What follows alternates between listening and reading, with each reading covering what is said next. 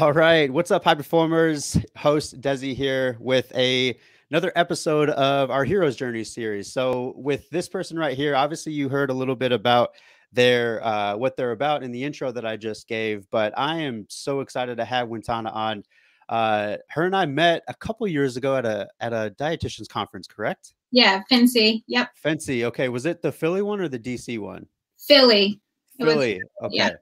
All right. So for our listeners out there that have no idea what I'm talking about, uh, there's this really big uh, get together with uh, registered dietitians called FNCE, where it's just an opportunity to get to know each other and to go have uh, really cool food and get a couple drinks uh, and maybe do some learning. But it's all about networking. And so I met Wintana a couple years ago, and and you know we had sort of been trying to connect in a lot of ways of doing some things together. And I'm so glad, Wintana, that uh, we've been able to do this. So, welcome to the pod, my friend. Thank you so much, Dezi, for having me. I'm really excited, and I love all the work you are doing, and our kind of value aligns and the way yeah. we practice things too. Oh, likewise.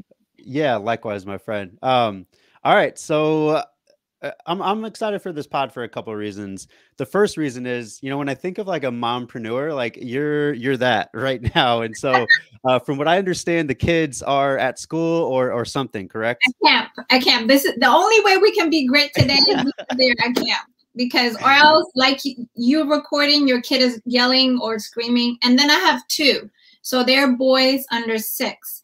Yeah. So I'm a referee sometimes. You know. yeah the struggle. Yeah. It is. It is. You know, I my five year old is actually out somewhere, so you're probably going to hear her slamming on the door at some point. So, Wintana, for you and our listeners out there, this is just the authentic us right now, and I'm mm-hmm. going to steal this from you because you just said it. But the juggle is real. it is.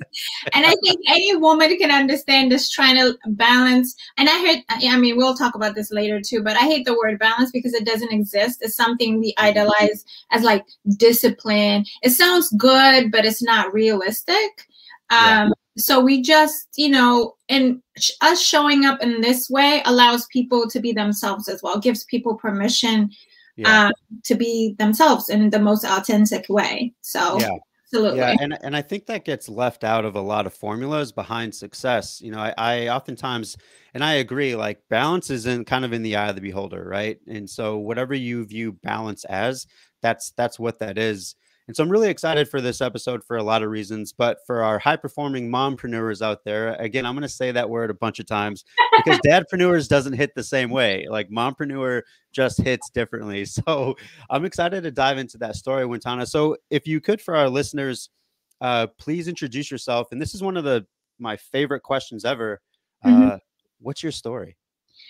Wow. So, um, so hello everyone. My name is Wintana Kiros. I'm a registered dietitian, health coach, and stylist.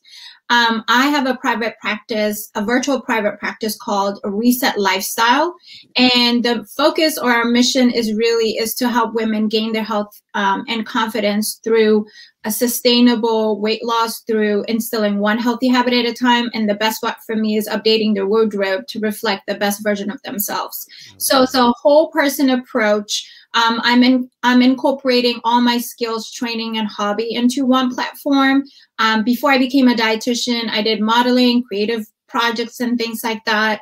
And then as I practiced as a clinical dietitian for 10 years, um, and then did a side hustle thing with styling and doing creative projects and doing um, styling gigs, photo styling. I did all these fun projects on the side, but at one point I was just like, oh my God, it made sense because as the more I worked with one-on-one clients, the more I realized how I can blend all these skills and training and hobby into one platform. Because as you know, Dezi, like as people gain their health and confidence, they don't know what to do with their here and now body.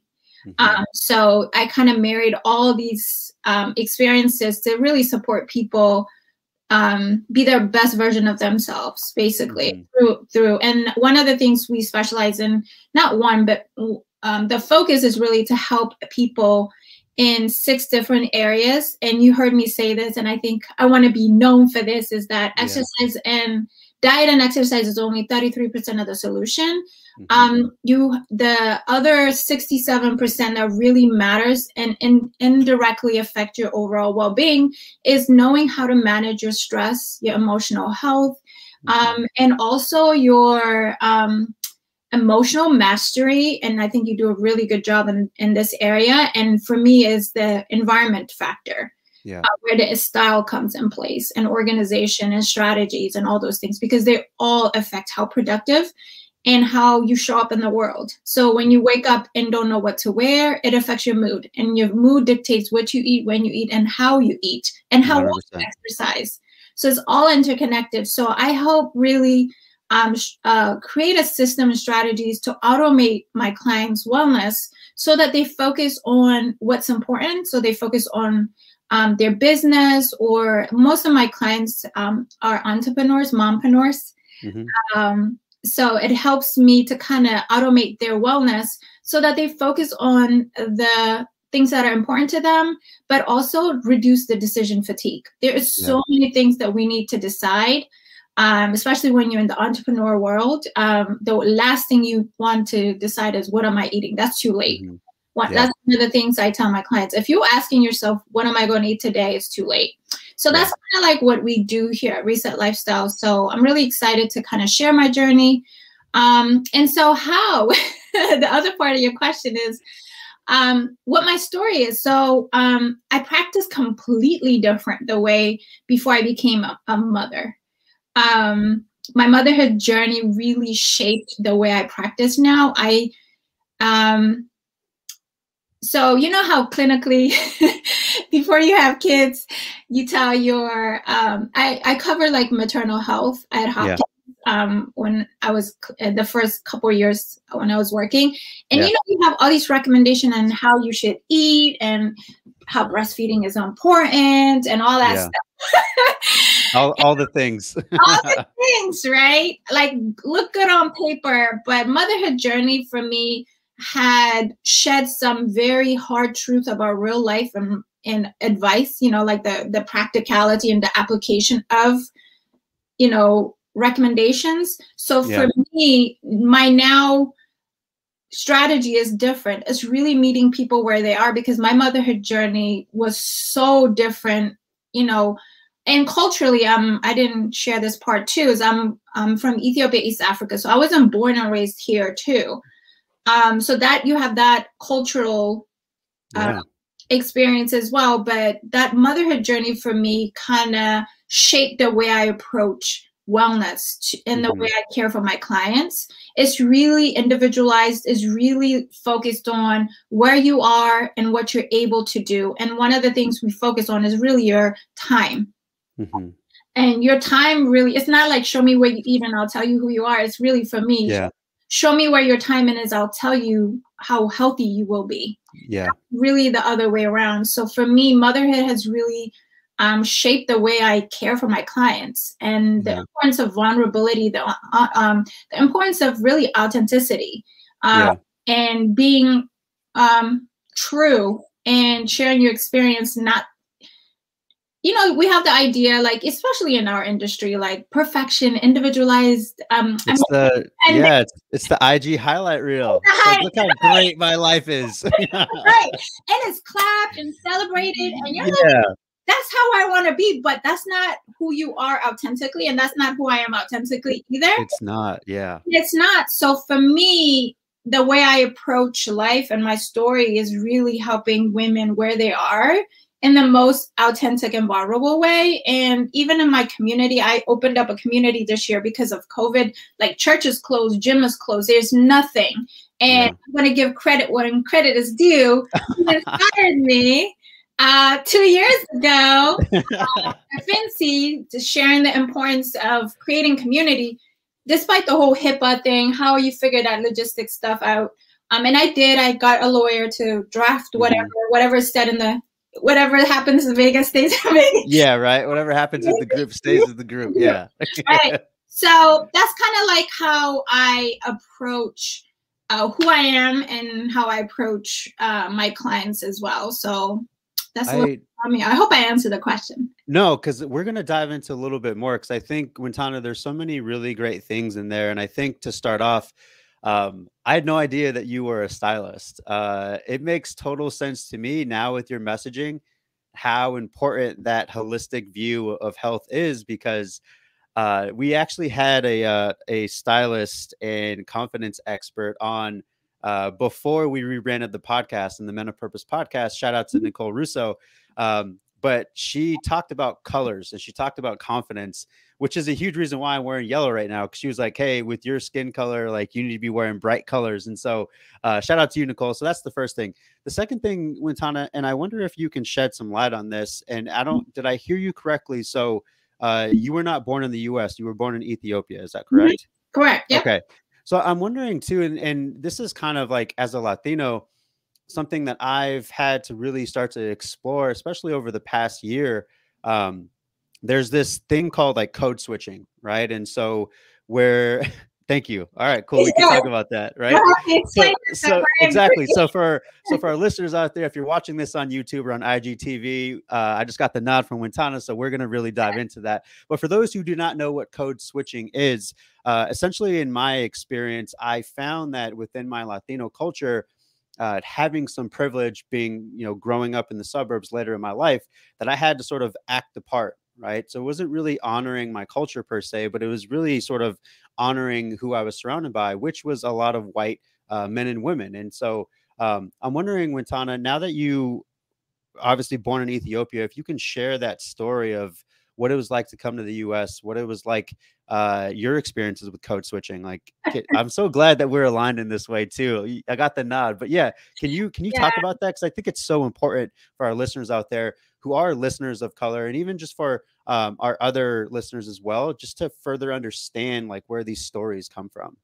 Yeah, for me, it all started. So when I came to the US, I was like 15. And as you know, it's like one of those critical age where you're like so critical. My gosh. So critical, right? Like you have no friends. You're literally like, and that's part of the reason why I love my company's name, Reset. It's just like every yeah. life you have to have the opportunity to, to reset. So for me, my reset was coming here to the US um, when I was 15 and it was hard. And and the most funny thing, Dezi, is that I ended up going to a predominantly black high school. Mm-hmm. So the culture was very it was a culture shock for me because I yeah. come from British English, first of all. Mm-hmm. Um, and there was only like it's um there was only like two white like one girl and one guy in the mm-hmm. entire mm-hmm. school yeah. Um, so that on its own was interesting because what my experience of America is white people, like in movies, right? Yeah. Yeah. I've just, I mean, for me, it was just like, wow, like yeah. this is a whole, like for me, the hard part was dressing apart. And as you know, yeah. black culture is very important to look apart. That mm-hmm. was easy for me because I love dressing up anyway but yeah. it was a shocker for me. Um, but the Ebonics was like, mm-hmm. I, I, I, felt like it, it, was really, really hard for me to understand for the longest time. And yeah. I was just quiet maybe for a year and a half because I didn't understand if they were being nice or mean. I didn't understand. Yeah. yeah. Um, so that was like my culture shock. Um, but looking back, I think it was the best way to start because then you understand how the world works yeah. and, and being embraced and you don't feel necessarily like the only one because everyone looked like you kind of felt mm-hmm. good in that way but it was yeah. definitely a culture shock like with the ebonics the code switching yeah properly speaking to your uh, teachers and then you see all these students talking to their teachers any kind of way and you know what you know is like teachers back home will get back. Like you get punishment like full-blown yeah. public like shaming um, mm-hmm. if you disrespect a teacher. And then here i am waiting for the teacher to like serve it hot and the teacher doesn't do anything and i'm like yeah. alternate universe um, so that was like the biggest shock for me is just the slang, the um, I guess you know even the language and how the relationships. You, you, I didn't know if it was a friend or a foe because it was just a lot to process. Yeah. Yeah. Beginning. Yeah. And that and that makes a lot of sense too because I think, and it's crazy that you talk about moving here at 15 because I remember I had moved um, from New Mexico to Arizona at the age of 13, and it's such an influential part because you're more or less in middle school transitioning into high school. For you is obviously high school. Yep. And i mean that's that's like the moment like i don't think that we ever in our lives uh lose that yearning to feel accepted or to Absolutely. feel loved or to feel heard right? And so I, I also want to look at that age as like a really really influential age because one our brain hasn't really fully developed just yet and so we're still trying to receive our world and as adults, when this happens, like it's our responsibility to do the self care and the things that we need in order to to present as our truest, authentic self, right? And so mm-hmm. I, I wonder as like you talk about getting here at 15, and then like this next phase for you is is motherhood, right? And so can we can we kind of dive into motherhood and and kind of your hero's journey behind that because it seems like it's really molded who you are today. I mean, if you have two boys under six, correct? Yes. that's nuts. that's just, you know that's so nuts. Saying that, okay, this is part of the reason that um, I love that you said that because the way motherhood was portrayed for me was painted in this rosy, nice, you know, like almost like, like I honestly, I felt bamboozled right now. Like I'm just not what I signed up for. Okay. Hey, I got bamboozled too. Like I'm straight up. Like I don't know what I'm doing to this day. My daughter's five. right. Right. That is really. And then to me, what I've noticed is raising your child in an unfamiliar environment all the time. Yeah. So for me, I wasn't born and raised here. So the culture of like celebrating even different holidays it's just different. Like I don't know if I should introduce it to my kids or not because I didn't I don't even know how to do it. So then yeah. I go to like my friends who are American to kind of facilitate the activity because I mean I don't want my you know what I mean? I you're just sitting there like, what is this craziness? Why is there why is someone dressed up as the Easter bunny right now? right, right. That's a perfect example. Um, yeah. because I'm a woman of faith, we look at it for day of resurrection. So we have something Absolutely to go with that. So for the faith based, concrete, yeah. yeah. But the Halloween part is tricky for me. I don't know. I'm, I'm still like I haven't dressed like my kids. We do have costumes in the house that they could play costumes, but I really don't. I've never been down with Halloween. So those yeah. are like because I never grew up with it. I don't see the point. Um, I'm probably going to offend a lot of people, but I just you know that's not like for me. Oh, well, yeah, yeah. So that's that. But for me, for motherhood, to just answer your question, is that the way motherhood was uh, pictured or depicted for me was how loving and caring, how amazing it was going to be, um, you know. And so, you know, when you're nurtured in that way, when you're groomed to be a mother all your life, and that's because of where I come from and the culture that's, you know, you go to school, you go to college, you get married, you like, there was no like, other option. Like you don't go to yeah. college? Like what is that? Like we don't yeah. know what that is you know? That's that's the way we're nurtured and that was the expectation. So fast forward first pregnancy was like pregnancy from a book. Like everything was great you know? Like we did the whole maternity shoot like never struggle with breastfeeding like i will go to this breastfeeding support just to make sure that i'm he's weighing enough, you know, like in the first yeah. like couple of weeks is very important. So I'm like shaking, like, am I doing this right? You know, like all yeah. the crazy stuff. But no one tells you these things, and no one tells you all the hormonal shift that's happening in your body. Mm-hmm. You're like lost in this fog. You kind of know it's happening, but it's just like a walking like a zombies half of the time. Yeah. So then um second second pregnancy, we had a miscarriage. And so we didn't even know there was no complication, there was no feedback of to what went wrong. And that's the worst thing to me, right? To yeah. me, it's like not even giving you like explanation to what happened so you can explain it to your head, right? Mm-hmm. Yeah. So then, second pregnancy was the most stressful pregnancy ever. So I have this romantic relationship with pregnancy and a horrible stressful. Yeah. You know, it's just like night and day, literally night and day pregnancy, and and and then even in that process, right? It's been like my youngest is now four. Even in the process of how much I literally lost my health mm-hmm. in the process of bringing life yeah. Um, was almost like uh, in my mind it's like why didn't anybody say this could be possible right? Or mm-hmm. why is this not communicated? And why isn't this normalized? Like this happens yeah. one in four women. Um you know all this like motherhood was just one of those like crazy roller coaster. It had highs and a lot of lows and just like almost take your breath away experiences as well. So yeah. um so yeah so my motherhood like experience showed me how much you can easily lose your health in the midst of something what is depicted as something great.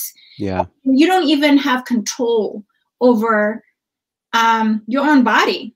Yeah. And what your hormones are doing and how you're feeling and you're like how you see yourself and all of those things and the whole snapback culture. I mean that needs to yeah. die. Like that yeah. that unrealistic unrealistic standard needs to die you know what i mean because yeah. most of us as you know our responsibility is right here as a parent and our resources is right here so yeah. we snapback culture like how is this gap going to ever be filled for us to get to our health back you know what i mean yeah.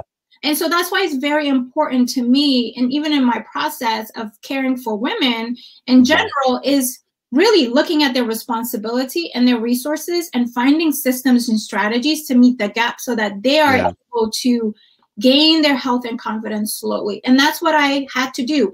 I had to go get a pelvic therapy because my son, both of them were literally three months size when they were born. They were 8.5 and they were 9.5. They were tall kids. Big boys, yeah. Big boys and then so that's the thing it's like nobody talks about right but yeah. we make like incontinence a normal thing don't sneeze yeah. don't like no go get physical yeah. and so that's why i'm very big on going where you need to go to repair because motherhood you have to literally reset all after every pregnancy because the outcome is different your body does um, things different. And honestly, I mean, I'm scared to say this out loud, but I'm gonna make a public. Pregnancy is trauma. Like it's yeah. really trauma to it your is. body. Yeah. You know what I mean? It's just going through, and it's like running the biggest marathon of its life. And mm-hmm. you know, if you if you became a mom and delivered a child, you've gone through a whole marathon. You've gone through trauma, yeah, yeah. marathon, call it whatever. Your body did its thing, but then you are left with this thing that you need to kind of repair and fix. And unfortunately for a lot of women because of the responsibility that they have they never get the opportunity to really take care of self. Yeah. We have this culture of selfish culture for you to do something for yourself. And you I, I call it the mom syndrome right? The the guilt so true for just even thinking of yourself and taking a nap. That's like a whole guilt thing. Like you yeah. how dare you have left your kids for like half an yeah. hour. So I even address that. It's like talking back to this negative self mom um, mom syndrome, you know? Like yeah. you we need to be able as a culture to address that as well. And also, you know, I I had to go get um, in between the two pregnancies, I needed to go see a grieving counselor because I didn't ne- have never knew how to process grief, and that I know now is like part of what I do is I assess emotional health, emotional mastery because if that is not in check, your emotions again dictates what you eat, when you eat, how well you move. So yeah. if you don't get those things checked, it will affect your health, period. Yeah. So I also went through a grieving counselor to address that season of my life. And for mm-hmm. me, it's like it's very important for any woman who's listening to this, and I hope it really frees someone, is that we need to live our lives in seasons. We cannot see an, our here and now as our forever. You know what yeah. I mean? If we yeah. look that way, because some seasons are dark. So you stay and have this hopelessness that continues to like linger. But if you see yourself as if it, if you could see your life in season, it's more manageable and mm-hmm. able to cope with whatever is. You know what I mean? You're yeah. able to ask for help in the season. You're able to um, get the um, the resources you need. And if you don't, come to us. I beg. Don't sit there and just stew in in sadness and hopelessness because that's why at least for me and Dezi i can speak for you too. It's like we came out of clinical to serve people yeah. help to guide to help people to really step into their into their fullness right? Yeah. So um i'm i'm just hopeful that people see that. And so there was other things that i also saw like even the the discussion of like after you have kids um the only option is um birth control mm-hmm. and you mm-hmm. get on these birth control but you don't no one tells you all the side effects of birth control that comes with like de- depleting your vitamins and mineral. I wish yeah. that here's your birth control and here's your multi. Like yeah. type of conversation. Again, I didn't know anything about that. I had to learn that, right? And I had to wean myself of those things to find alternative way to care for myself. So all these processes that I had to go through, um, um, has helped me develop program systems to say, if I needed it in this season, another woman in this season will need this. So yeah. I deviated and created programming for my clients to go through the process, mm-hmm. help them gain an, their health and confidence back by creating systems around what I did to help myself gain my health and confidence back. So yeah. just give you clinical experience. Right after the second child, my cholesterol, my A1C was off the I was like, excuse me? I was like, yeah. like has my name, but what the hell is going on here? I know. Yeah. I was like, uh-uh. Like if I, if I am having this problem, there's a whole lot of women who are like drowning with yeah. preventable metabolic syndrome. And I could not wrap my mind around it. And then yeah. that's when it clicked for me like a whole person. Stress is out of control because I'm in this new unknown territory. Like mm-hmm. my sleep is like barely there because you have kids that are waking up in the middle of the night because they need their parent, right? Yeah. So all of these played factor, but you know, I took it step by step and corrected these things around habits. I focused on the process. I didn't rush to lose weight. I didn't rush. I really step by step looked at the different habits that I can fix. I really focused on the process of being well while yeah. I was going through this motherhood season. So it had served me well. And I have maintained, and now I'm in this season of gaining. I have gained 12 pounds of muscle um, mm-hmm. intentionally. It's not about weight loss anymore because the next yeah. season of life that's creeping up or rolling up, however you want to call it, is menopause.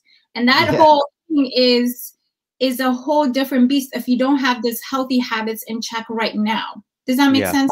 So that's no, it, it, absolutely does. Um, season. So I had to go through different disciplines to literally gain my health and confidence back. Um, yeah. So yeah. I, I think that's Wintana. I think that's so important too. You know, one of the fantastic things that I am seeing. You know, I'm I'm a firm believer. You know, success leaves clues, right? And so if you follow and look at the behaviors and habits of successful people, the thing that I'm finding with these Friday series that each and every time I talk to one of you one of you high performers, you talk about seasons. And I really, really love that you talked about that right now and looking at seasons of life.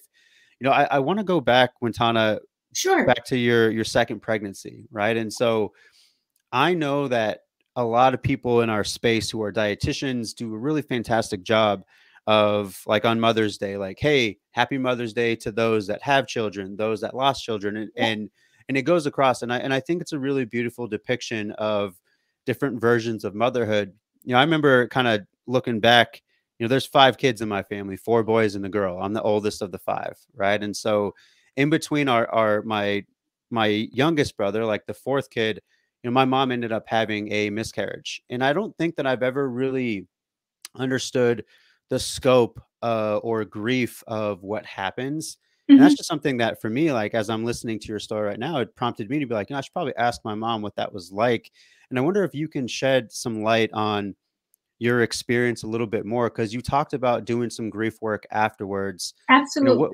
right. So, what sort of what sort of feelings came up for you during that time and and obviously you talked about getting the grief work done but like what habits or what things did you start to dive into to help you with that that um that really painful moment so when it happened the first thing you think is like what did i do like what yeah. did i do wrong it's blame yourself blame yeah. like that killed me literally and i was just yeah. like man i'm a woman of faith so i got my bible out and i said god speak to me because clearly this is not my portion this cannot be my forever so i decided right then and there that i was not a victim i was a victor over this mm-hmm. whatever this was and so um, I did a lot of devotions. Like meditation was a game changer for me. Like yeah. I never like that habit to this day.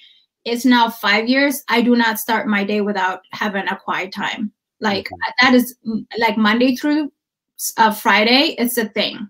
I always start my day with the Word of God. Period. Yeah. So, having a affirming scripture to back up my crazy thoughts was very important. So mm-hmm. I, I did that. And the other thing is I authentically shared my I was vulnerable. I was I was not going to be a victim yeah. of of this. I said, and I know, like, you know how you said um success it leaves clue. Yeah. Struggles I had in my life, I knew wasn't just for me. It was for yeah. me to um go through, not overcome, mm-hmm. because that's a negative mindset. You don't yeah overcome anything. You go through something. Going through mm-hmm. is the important part. That's where you learn the lessons and that where is the growth happens, right? Yeah. So for me, I knew this was for me to go through and help other women come through. So the more I shared, the more women, for every five women I talked to, three of them had a miscarriage of some sort, was so scared to share it, or was so scared yeah. And so I found myself consoling them because they've mm-hmm. never done the work. Yeah. Right. And here I am. I had the miscarriage. What is it, Friday? And then within that Thursday, I was in a grieving counselor's um, office. I was like, beautiful. What is the strategies? What is, you know, what what do I do? How do I move forward? And the mm-hmm. biggest lesson I learned through that process is even culturally, I'll speak from cultural perspective because I think that's important because it is, yeah. Different perspective. Culturally, we don't talk about stuff like this. It happens. Yeah. You push it under the rug, you pretend nothing happened, and you move forward. And that yeah. was for me the hardest thing because I couldn't share my journey with my family in a way because they didn't know what to do with it Mm-hmm. They didn't know what to say. They didn't know really how to console me. Um, but yeah, it was really hard. Yeah. And so what I what I did was I just went to the person who has my solution. Like uh, these people are just looking at me as if I'm a crazy woman, but I've decided I'm a victim. I will not be a victim. So yeah. the so the grieving counselor, I love her, Kate. Um, uh, I just love her. She straight up said to me, she's like, I know you're going to hate me. She said, I know you, you know, you're like a go getter. I already know that, but I need you to sit in the grief. Like the only way for you to overcome it, it's not to yes. it's not. Yes. I was like, damn you. like, no, I, am a high performer. I'm gonna get these things done. I'm right. done with being sad. Like, no, right. you need give to sit in the pain. That's what I came in. I was like, lady, give me the bullet points. How do we overcome this emotional roller coaster? Like, that's how I walked in, honest to God. Because I already made up my mind. I was like, I'm not gonna be a victim of this. Like, period. Like it happened. Yes. How do we overcome it? And but it was the hardest year of my life though yeah. but it was also looking back the best growth happened for me and mm-hmm. even how i practice how i approach life how i do things completely changed yeah in that season because i learned to stay to sit still mm-hmm. um and like really listen yeah um and really pay attention so she told me to sit and that grief even to this day if something is a trigger you know certain things are a trigger for me absolutely and i am always vocal and open about my motherhood journey because i don't i my silence is a, a, a killer like it mm-hmm. really kills for me so if i can share my my shame because that's mm-hmm. what it felt like at that time yeah. it really will free some woman. And every time I share my story, it literally frees another woman. I know that for a fact. So I'm yeah. al- always authentic about honoring, honoring, um, infert- like um, uh, those months where it's awareness. Yeah. I always mm-hmm. post about that, and even for motherhood, Mother's Day, I say I recognize the loss, the motherhood journey of loss, and I recognize the motherhood of joy because it yeah. goes in together. And you know, what is it? Blessing and um, a burden walk together. Yeah. It's really up to us to focus on the blessing yeah. because this is always going to be there, like mm-hmm. regardless, mm-hmm. right? So for me, sit learning to sit in the sadness has taught me to see people in a different way. Yeah. That that different season brings different growth, different stretching. Yeah. Um, so that was like that i hope i answered the question. I think you did. Yeah. You ab- you absolutely did because i think for our, our, listeners out there who are looking to become the best version of yourself right? You're looking to become that high performer. Wintana, you mentioned something that i think is so influential. When it happened right? You're that you're a high performer. You're like give me the bullet points. I'm going to go do them. So one you sought mentorship which i think is so so powerful. The second thing that you did and i think this is really powerful as well especially on the heels of you know this will probably this this podcast will probably get released a little bit more towards late august but we're recording at the beginning of august. Obviously simone biles is a really big topic about uh, choosing to to stay behind and not compete for her mental health.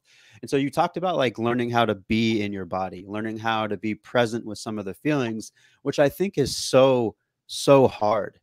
It is so hard to to recognize the trigger and to not go back to past conditioning of possibly doing things that are going to be destructive to you or your family but mm-hmm. even more so to be able to sit in that pain yeah. and you talked about this gap too which i thought was so great and it's you're absolutely correct so let me go ahead and reiterate and you can correct me if i'm wrong so, okay. so we have your our expectation as as parents in this case right and then our resources being far below right? And so yeah. there's this like gap agitation that most people don't have the resources for and i think it's so great that you've been able to take your experiences and create that for people because i think the best impact style people in the world are providing others with things that they have personally struggled with or have seen those closest to them struggle with right? And so for me i'm always trying to become this like high performer and be there for people uh, because I didn't feel like I had that when I was trying to like figure out my world. And in yeah. the same way, you know, my, my pops, you know, dad, shout out to you. Uh, he was a high performer that didn't have a whole lot of skills. And so, like, we constantly do for people what we didn't have. Right. And so, I wonder, Wintana, for you, what are you seeing in the space of helping these, uh, you know, prospective mompreneurs or female high performers? What are you seeing are the biggest um, missteps on their end? I think we all can agree the idea of perfectionism because oh most God. I know, right? You said it.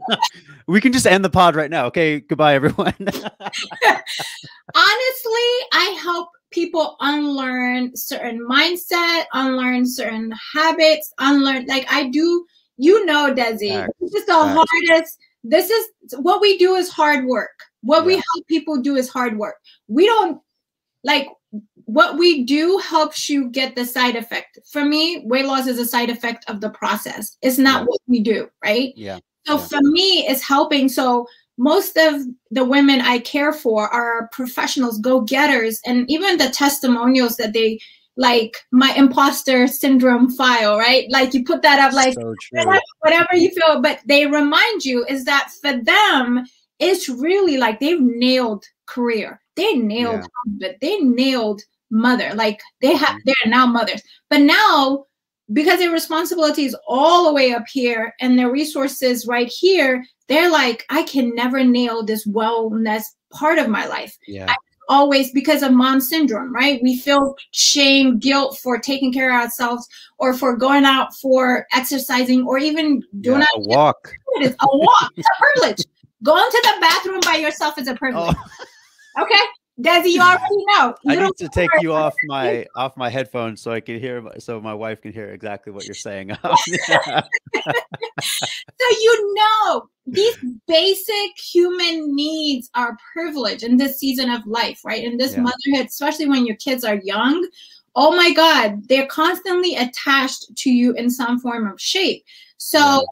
for me, the way I really coach and support my clients is in this way is really saying hey hey girl you are amazing. You're a boss babe. Like mm-hmm. let's not recognize that okay? Yeah. You don't lack discipline. What you're lacking is practice. So if you look at the definition of discipline it's just mm-hmm. practice. Literally it's just practice. When you practice something over and over and over and over again it becomes a discipline. It's what you it, it's just yeah. you become it right? So we be, we focus on becoming. So one of the things the first thing I do with all my clients is do their why session. Why are you mm-hmm. here? Because as you know, the the mo- model for change, there's five steps, and the middle is called Valley of Despair. So you in the you're in the middle. You need to know your why. Because the mm-hmm. first two, you're like, yay, let's get on this journey. Everything's yeah. great. And then second, second step, you're like, uh, oh, this is kind of hard. and then the third is like, oh hell, like what did I sign yeah. for, right? So yeah that is important. So in that process those are the things that i put in in their mind. It's like look you are a perfectionist but that's your kryptonite. Mm-hmm. like your finance journey and your wellness journey is a journey. It's not a destination. You will not be at a certain weight and that's it. It never yeah. is that.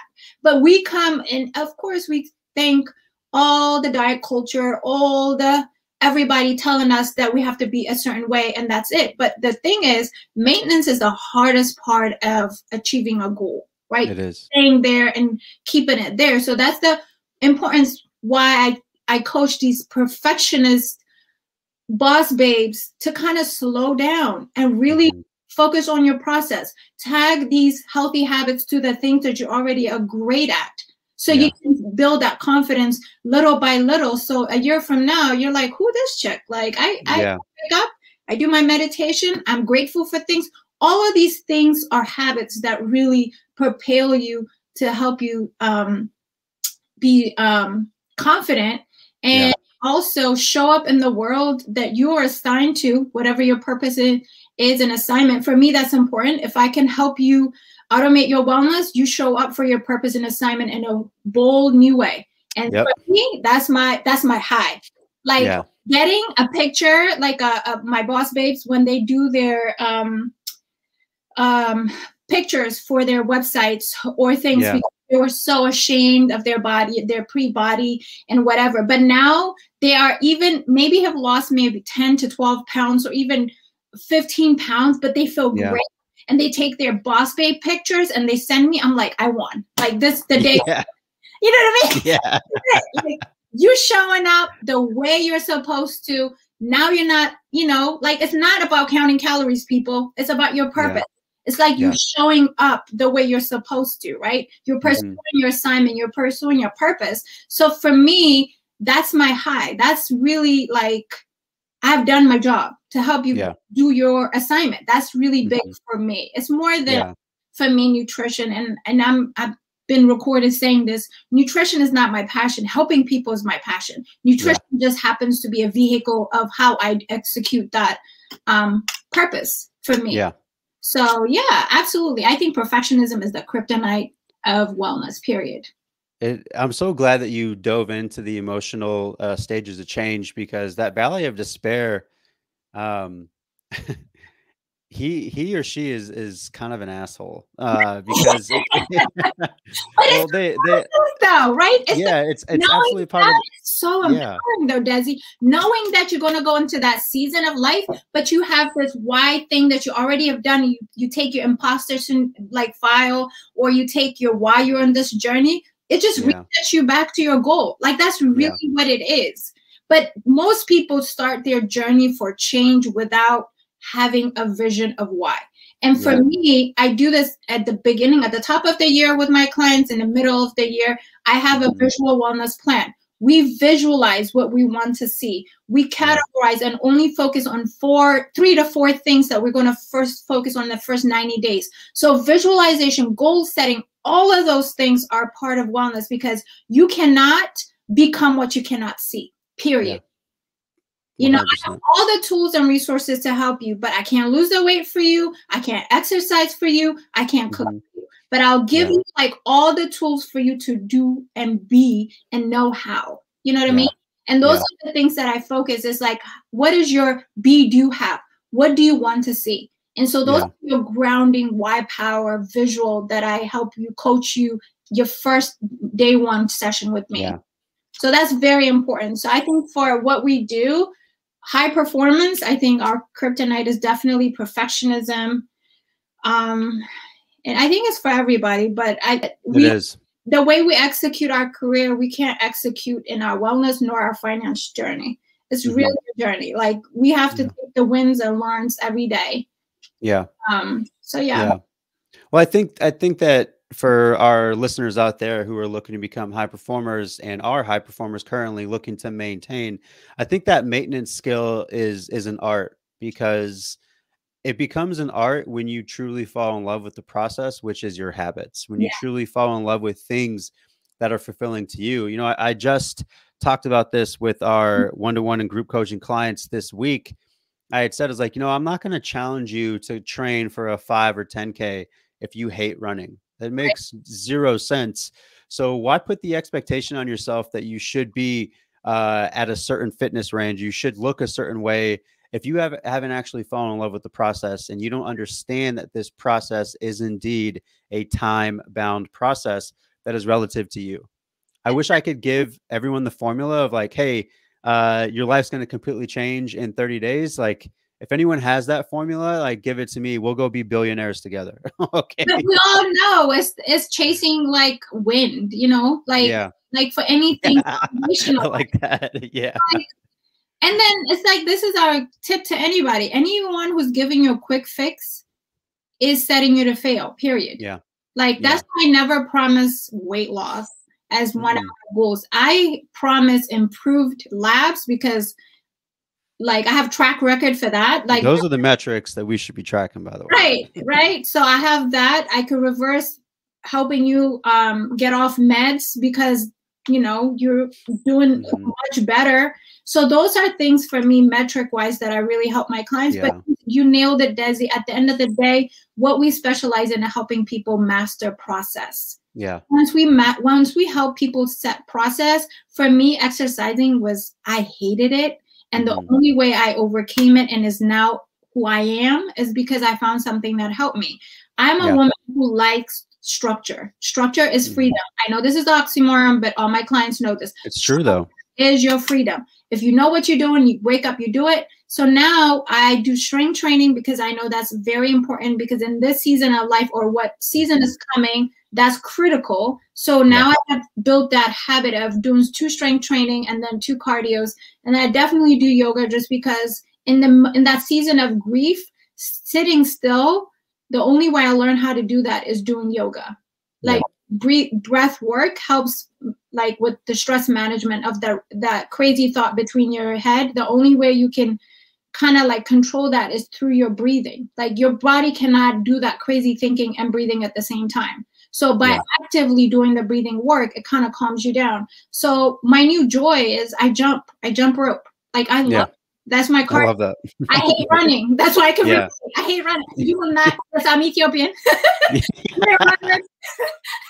that gene never transferred to me. Yeah. the thing is, though, naturally, I've always been an athlete. Like I was a varsity volleyball player. I played tennis and and in um in high school and but that was my end my social end was being a, an athlete in high yeah. school um, to circle back to that so that kind of habit even in college i played intramural volleyball and things so i was always active anyway uh, but after motherhood because of my responsibility and my resources were like unmet i found yeah. this now wake up way earlier than my kids that's the only way to beat it ladies is yeah. to things take care of you before yeah. the responsibility wakes up really yeah and um, now i do jump rope as a at the end of like my thing is my cardio that's my joy like i jump for yeah. joy literally like yeah. just put music on i'm like let's go and so me that's not an exercise now i look forward to those habits mm-hmm. um, i love how i look now because i I I'm not looking forward to what I was, you know, that mindset of my pre Yeah. baby weight or pre whatever. No, I love my here and now because I've earned this body. Yeah. I have survived. Yeah. I Yeah. survived two trauma or three traumas in my case, Yep. and we're good, we solid. You know what I mean? I've Yeah. never been fit in my entire life like I am right now. Like yeah.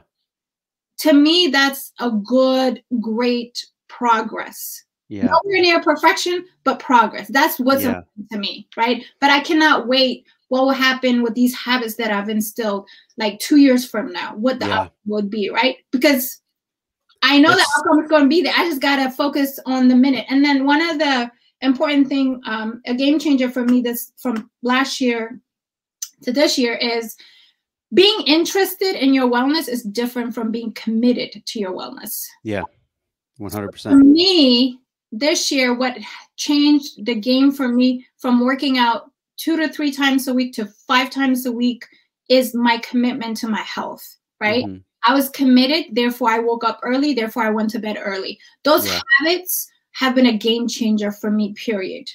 And Mm-hmm. so my labs are normal. Yeah. I reversed all of those things because of those habits. And I just hope in my prayers that whoever is listening to this is that you focus on the process Mm-hmm. and of how to be well. And that Yeah. you look at all these six factors that overall affect your health and not just focus on diet and exercise. And that's only 33% of the solution overall. Yeah. Um, and that's how you win in life. If that's the formula that you ask, like, give me the formula. So we, that's the formula. You have to yeah. at yourself as a whole person, not this diet and exercise thing. Because Yeah. it's, it's a setup. That's all I'm trying It to is. it's a setup. It's it's a billion dollar industry. You know, they Mhm. want repeat customers. That's why Yeah. you, you you're failing. It's not like you failed because you had all the formula. You don't have all the formula. You're only Mhm. operating in 33% of the solution. So I Yeah. hope whoever's listening to this wakes up to the idea of seeing themselves as a whole person and not just working on their idea of what wellness is. It's just like this what that culture preaches like exercise, count Yeah. calorie, work to death, or also work out twice a day, which I'm like, now you ask, yeah. now you Now you're ask, asking for too much. I already woke up at four. too I'm like, leave me alone. right. Yeah. So this is actually a good transition, Wintana, because you've already kind of uh, started talking about it. You know, obviously this is the can't believe I made it podcast, right? And so I really love like the the ending of some of these like rapid fire questions. And so I want to get started on those. Um, and it's probably one of my favorites. So obviously it's can't believe I made it podcast. So uh, do you believe that you have made it? And if not, what would making it look like for you? I honestly, old me would have said, "Oh no, I still have so much to go." Blah blah blah. But to me, I've made it for the season that I'm in. Like I Right. made it. I love that. period. Like yeah. that's where it is. It's like you have to look at your life in seasons. For the season I'm in, I am doing great. And the reason is because I'm able to reverse, I'm able to do all the things that are important, Mhm. wellness wise. Um, even like like how you see yourself, right? How Yeah. you feel in your in, in the way you see the world. Mhm. I think I'm I, I've um, I've arrived from that Yeah. perspective, right? From the Yeah. season right now. But did I uh, accomplish all my assignment and purpose yet? Not yet, right? Yeah. Season of my life with mothering full time and mompreneuring part time. I think I'm winning just because looking back, it's like progress. I'm I'm focused on progress, right? Where I where I was five years from now ago, or I should say five years ago to now is completely a whole different human being. Like even mindset wise, the way I approach things, everything has changed for me. But even Yeah. those change, good or bad, has made me a better person in the Yeah. way I approach life. So yeah, so old me would have been like, oh no, blah, blah. no. New me says, yes. we're doing really good for this season of life. I can't wait for what God has for me in the Yeah. next season of my life where kids are always at school and now I can focus on, you know, boss babying it. So Yeah. Yeah. I love that. I love that for the season I'm in. Absolutely. Uh, okay. Second question for you. Obviously, this podcast is about the hero's journey of higher performers. So I kind of want to put you, Wintana, in the mindset of heroes, right? You can go towards like any of the movies, comics, like whatever, right? So mm-hmm. who is your hero comparison and why? And if you can't think of one, you can talk to me about who your hero is currently, family, like whatever. Honestly, I love um, I've consumed a lot of her in, um, information in this season of my life. Do you know about Brene Brown? I knew exactly who you were going to say. you know it. You know it. In this season of life, if you don't know about Brene Brown, hey, people people that know me think that she's like my hero. Like they already know that. I knew I knew you were going to say that, dude. We're good we're like this. This is yeah. why, Dezi, I love the work that you do because it's we come we approach wellness in a different way. Mm-hmm. Um, we we step to our own drum, like period. Yeah. Like yeah. we know what works and we know long term. I think we have long view. Um, and I, I, I don't need to explain Brene, uh, um, Brene Brown to you, but she's an amazing um, professor and lecturer Mm-hmm. And she really helped me in this season of life um, against culture to really flex my superpower as being vulnerable and authentic at all times. That's my that's my flex. I'm gonna, I'm gonna detach this mic and just drop it for us right now. yes. Oh, Wintana, right? you're you're amazing. It. You're amazing. All right, last question for you, so you can go back to to going back to the, the juggle is real, right? The juggle is real. yeah. Um, all right. So you're amazing. Where can people find you? What type of projects or things do you have that we can support you with? Uh, everything that you put that you let us know about Wintana will will end up in the show notes for our listeners and our viewers Absolutely. out there. So, um, where can people find you? What kind of things can we support you with?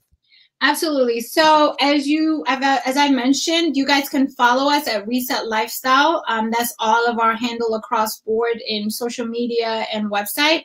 Um, it's R E S E T, then lifestyle.com. Um, and the biggest project that I'm working on, it took it's, it's taking me a whole year, but I'm pivoting to group coaching because my 101 nice. is killing it they're doing really really well. So we're mm-hmm. now moving our business in into a new layer which is the group coaching part. So i'm looking for women who are busy. This the mm-hmm. programming is created to automate busy women's life.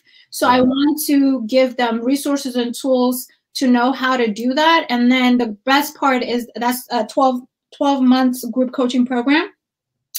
And the best part is it has a continual support that then you're going to into the community aspect. That once you have all the tools then you get to focus only on one or two habits that you choose that will serve you in the season that you're in that we continue to support you in the community. So we have amazing community that we have um, currently as well.